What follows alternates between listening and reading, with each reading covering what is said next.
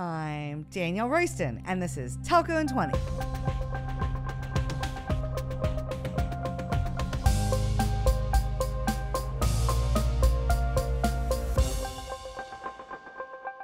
Remember that time we took over Ericsson Space at MWC 21? I'm sure Ericsson is sick of hearing me talk about it. Newsflash, I'm never going to stop talking about it. We took over 65,000 square feet in Hall 2 and renamed it Cloud City. We had demos, speakers, live coverage, clouded cocktails, and even a super awesome invite only private Bon Jovi concert. It was epic. I was transported back to Cloud City when I saw Nokia's exhibit at this year's MWC. It was pretty stunning. The front of the booth was transformed into a giant Nokia logo with awesome mirrors, screens, and colors. I have to admit, I had a little bit of FOMO looking at it. Nokia unveiled an awesome rebrand coupled with a pivot to reinvent themselves. Going forward, they see enterprise and B2B as the future of telco. A lot of people I talk to are thinking this way too, so maybe they're onto something. Today's guest on the podcast is Azfar Aslam, Nokia's CTO for Europe.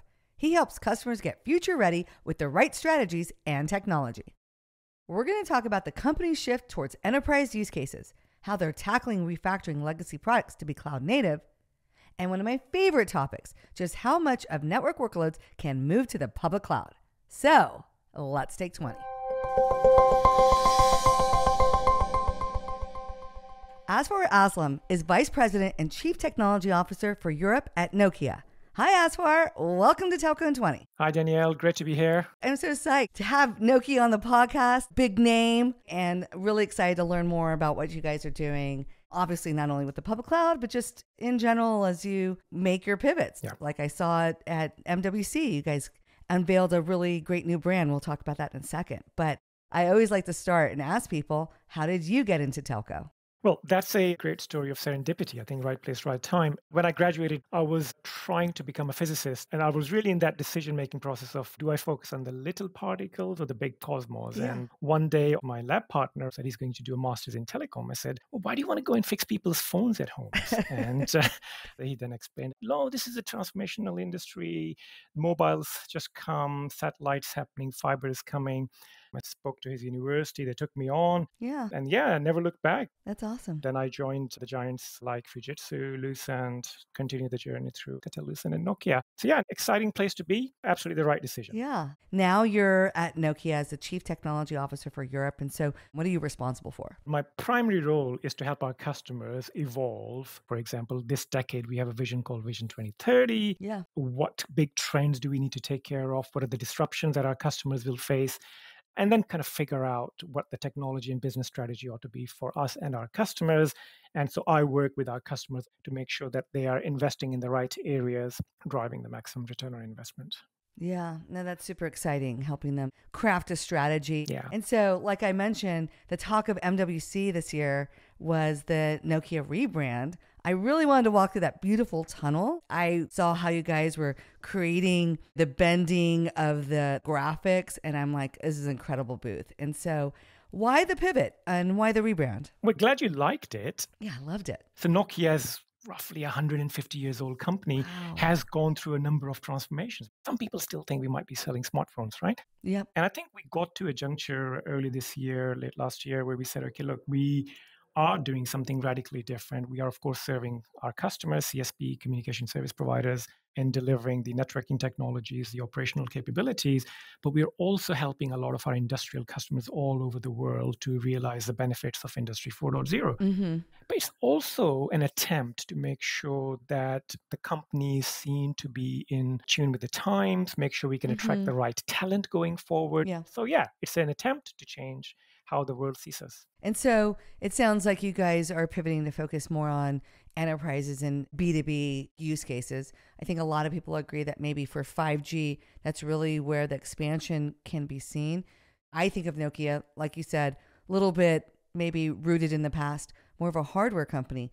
Are you guys starting to focus more on software or shift away from hardware?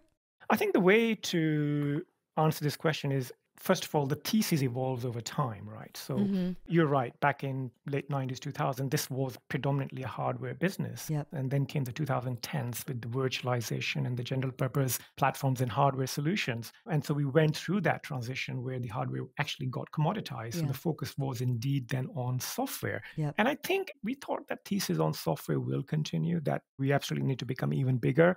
And by the end of last decade, we were almost number one player from market share point of view on the software the telecoms industry. Yeah. But coming into this decade, what we also realized was that the cost and the performance equation isn't balancing out going mm-hmm. forward. The 5G was coming out, new capabilities and new services were needed. So, what we started to look at was how do we optimize that equation once again? And that's where the mastery of the silicon started to become really important for us. Yeah. We call it system on chip. Mm-hmm. If we don't control that part of the industry value chain, then our customers will have to spend more Yeah. equipment will be costly the solutions will be costlier they will be less energy efficient Yeah. so i think nokia today is absolutely focused on a very high quality software and monetization of that but we are also focused on making sure that we don't lose sight of what's needed on the silicon Yeah. And so, from a revenue split, when you think about the hardware revenue versus the software, is it split down the middle or is it back to being skewed more heavily towards hardware? Yeah, it depends on the portfolio that we're looking at. So Mhm. there are some portfolio items, particularly in our software business, which are very heavy software oriented. Yeah. And then when you look at the hardware oriented portfolios like the fixed access networks or the fiber networks, they're predominantly hardware oriented. And that's kind of a speciality of a company like Nokia that we have the right to play in each of these domains. But yeah, the revenue mix will be different. Well, let's talk about the cloud, right? I don't think my next question is too surprising. And so, what does Nokia think about the public cloud? Is your expectation as we continue that CSPs will dictate which cloud they want to use? You need to design your products to be cloud agnostic. So you have that flexibility built in. Is that Nokia's position going into the next decade? So absolutely, and actually, I'll go as far as saying that you will be hard pressed to find another telecom player in our part of the industry that's so heavily intent on working with the public cloud and cloud of all types across the globe. And the reason is very simple, and you have to look at the answer in two dimensions. One is the adoption of the cloud that Nokia has done in our own business and IT transformation. So that was a no brainer. We wanted to be cloud first going forward with all our software and enterprise operation strategy. Yep. But then when you look at our business, the products and solutions that we make, they are all going into cloud now. So Mhm. 5G was the first technology which was born in cloud, Yep. particularly the core networks, right? So they became cloud native. Yep. And when I look at the work that we have done, particularly in the last three years with all the three web scalers, Microsoft Azure, AWS, and Google, Mhm. we were quite early in that exercise of integrating, testing, and learning how our products would actually perform in the cloud arena. So, as a result, we have a strategy where we are porting a lot of our capabilities, a lot of our software from the old way of working into the cloud native environment. Mhm. But then all the new products and services that we are creating are actually born in the cloud environment. So, for us, it's kind of a natural next step in terms of the software evolution. Mhm. Then we also look at capabilities like the marketplace that Azure offers and others offer. So what we're doing is also putting our software out there via these platforms so that it makes it easier for our customers to buy, consume, and manage the lifecycle of these solutions. So yeah, for us, it's a no-brainer. I would imagine that's a little bit of a challenge, though, because you either have a choice from a development perspective and an engineering perspective of either keeping my code base common with as few changes as possible for all the platforms Yeah. or forking the source code and having different versions. How do you decide when to say, hey, we really want to adopt a particular element of this cloud and it actually becomes a second code base to support? Mm-hmm. How do you guys manage that? So we went through that learning cycle, learned our hard lessons very quickly a few years ago. Yeah. So we ended up with a strategy where we're going to have a common software application layer that will then work with any cloud. And that's what we termed as our any cloud strategy, starting with the core networks. And then when we went into other parts of the networks, like the uh, mobile networks, radio access networks, we are doing exactly the same thing. Yeah. So it's one software that will work in any cloud environment, whether that's any of the web scalers, whether it's some of the other producers of the CaaS platforms, IaaS platforms, our strategy is very simple. No matter in which incarnation of cloud you choose to deploy, Yeah. whether it's public cloud, private cloud, hybrid, edge, on prem, the same software will now Yeah. be seen in all of those areas. And that brings a lot of simplicity for our customers whilst giving them a lot of flexibility. Yeah. And so by being cloud agnostic, obviously that means you can support more platforms. Again, I'm the public cloud girl, so I'm going to make my public cloud point.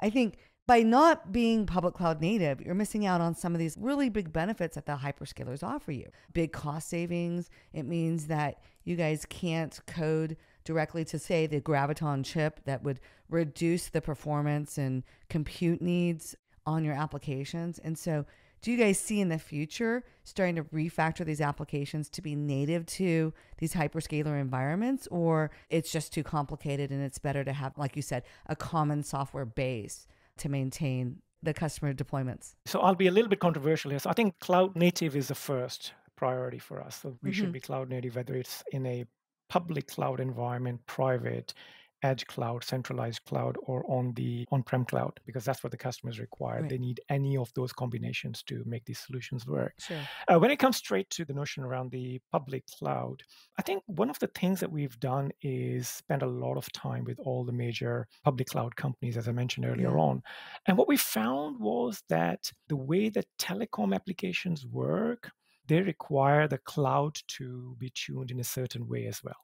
Okay. yep And this is where we started to work with these partners in the public cloud environment, the web scalers, and we started to create blueprints, which then need to be implemented before the applications can be run with the same high performance as they run in a private cloud environment. And then when we went as far as putting the mobile networks in the public cloud environment and testing them there, mm. we realized actually the performance can only really be delivered via adding some secret sauce, which is effectively taking a bit of our system on chip capability from our own internal platforms and putting that into a public cloud platform in the service there. yeah So I think through those learnings and combinations, we are getting there in making sure that the software will remain common in all the cloud incarnations, but it will also deliver the performance that our customers require at the right cost.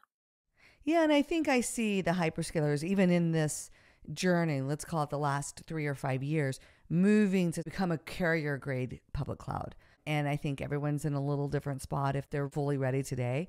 Some say yes. You got people like Marc Rouanne at Dish, who's doing Open RAN and building everything on AWS. You have other people on the other side of the spectrum. So it's super interesting. I think the question of the year for me is where is that line? Does Nokia think eventually, maybe in 10 years' time, as the hyperscalers continue to evolve, they listen to you, they adopt some of your system on a chip and embed some of that technology? Will we see network workloads running in public clouds? Or you guys still don't see that? It's going to be still a lot in private clouds and let's say on the ground in private data centers.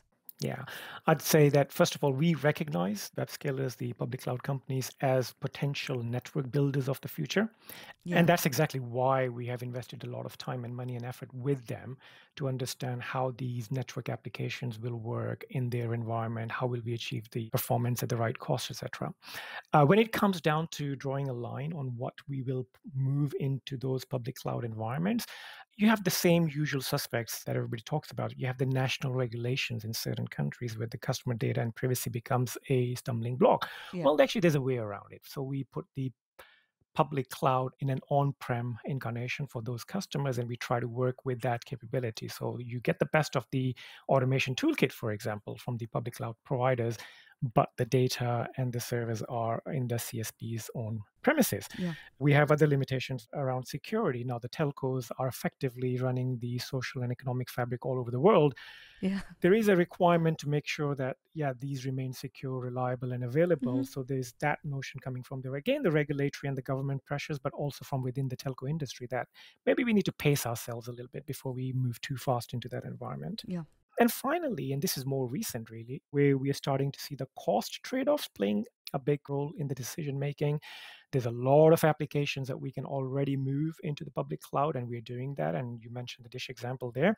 But there are mm-hmm. some applications which are very data hungry and there the customers are finding maybe it's better to have that part of the solution hosted inside the csp premises so yeah it's an evolving journey well is that because of egress costs that they're worried about? Exactly that. Yeah yeah. And sometimes unnecessary tromboning of the traffic going from one cloud to the other and back and so on and so forth. Yeah i mean on egress i always tell customers why are you moving it back on prem just leave it in the public cloud because that's where you're going to do all your data manipulations. You can do all these cool storage strategies where you put it into hot storage where it's accessible super fast, all the way to super cold. And so they always are like, yeah, why are we moving it back? Yeah. You mentioned there moving some capabilities of the public cloud to private clouds.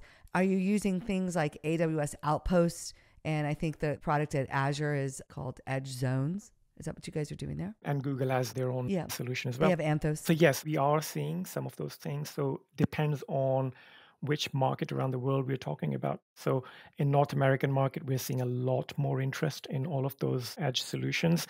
In Europe, we are starting to see the initial deployments yeah. of those public clouds coming into the on-prem. There are very few cases right now. But again, the regulatory concerns combined with the economics will actually dictate the next few years on this particular topic. Yeah. I don't think anybody can argue with the economies of scale of the public cloud providers for most applications know, some of the bearer traffic that comes into the network, which can be in exabytes per day. Yeah. That's a lot of traffic running through the infrastructure, yeah. and that scares some of the customers around the world. I agree with you. I mean, different parts of the world are moving at a different pace, but then one person in a region or in a cluster of countries that are very similar, it's like wildfire. It like spreads one person does it and then they see that one person go for it and then they all do it. That's been my experience in talking to telco executives we were just out in the Middle East this last week, and we're starting to get telcos say to us, we want to use the public cloud. We don't think we can, but banks can use it. Why can't we? Hmm. And sometimes it's just a matter of the research. They haven't really actually done the work to figure out that it is possible. There might be some work with a regulator or some documentation to produce or prove it's more secure, but it is possible. I keep seeing people wanting to move more and more and every year, the line keeps moving of where we stop on moving things to the public cloud. And I think there is a line. Obviously, the tower is not going to move to the public cloud, right? We yeah. still need to have that on the ground. We still need that infrastructure. But every year it's moving more and more, and people are seeing the benefits. So it's incredible. Yeah. So this has been such a great conversation. And I always like to end with something fun. And I guess this could be another difference between us. I uh, recently vacationed in Hawaii on the Big Island. It's literally one of my favorite places on earth. Yeah. I heard that you hated Honolulu. And so, what was wrong with Honolulu? so this is in the year 2000. Oh, a long time ago. Yeah, a long yeah. time ago. So I just arrived in Honolulu, very touristic, very crowded beaches. Yeah. So you go to your concierge and it's like, where is there a little bit quieter area? Yeah. And then they said, well, not on this island.